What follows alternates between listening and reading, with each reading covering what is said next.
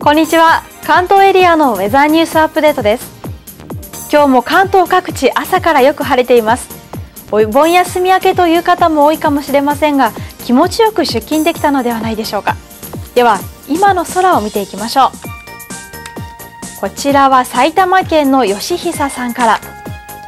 今日も薄く雲が広がっている埼玉中西部です。すっきりとした青空にはなかなかなりませんねといただきました。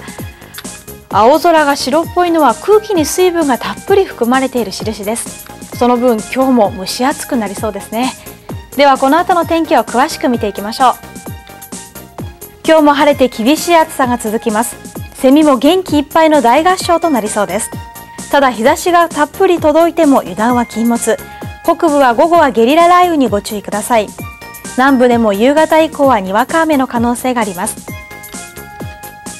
ライブカメラを見てみても今日はご覧の通りの空の色となっていますがウェザーニュースでは今日の夕方同じ時間にみんなで空を見上げてその時の空の色を集めようという企画を行います。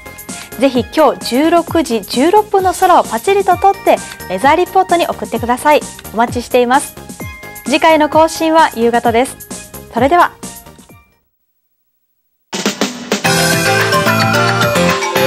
other news.